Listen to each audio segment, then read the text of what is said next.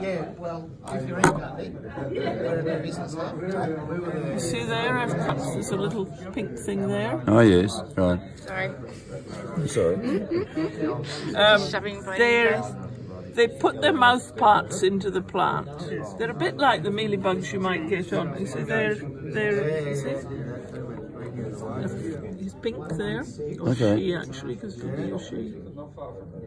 They put their mouth parts into the plant and then the plant grows around. So it's, it's quite a little colony of them in there. See, in under there, there's a little colony of them protected in under.